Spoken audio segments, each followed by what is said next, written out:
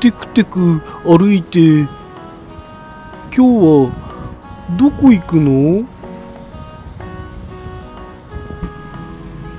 ここは京急蒲田駅にあるまんまるっていうお店。昼から営業してるんだ。これがメニュー。串カツがメインなの。おすすめは紅生姜とレンコン串カツ以外に天ぷらやお寿司もあるの。普通の居酒屋さんメニューもあったりして毎日来ても飽きない構成になってるね。期間限定メニューで心を揺さぶってきたりするんだから。ここはお酒をボトルキープするとすごくお得になるの。レモンと炭酸水。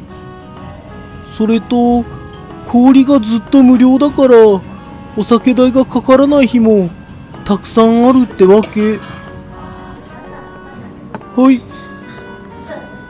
ウイスキー入れて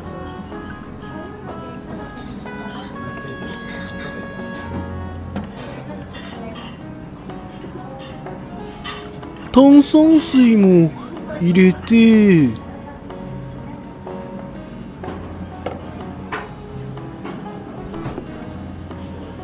最後にレモンを絞って。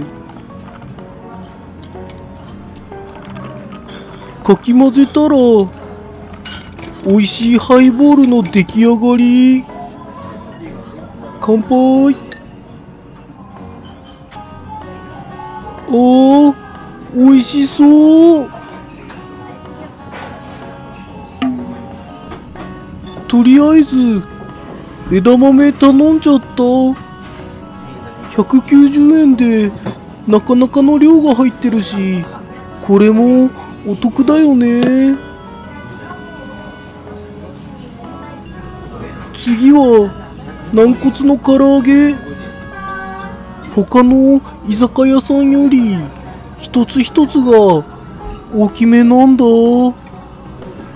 なんでこんなに揚げ物とハイボールって合うんだろう。新しいボトル入れちゃいました。これ美味しいですよ。マグタク当てってやつ。美味しいよこれ。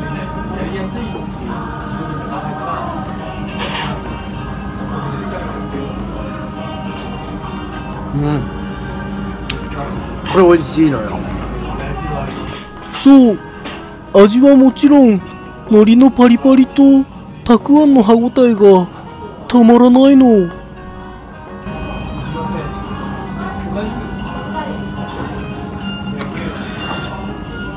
美味しいのよ。バイバイ。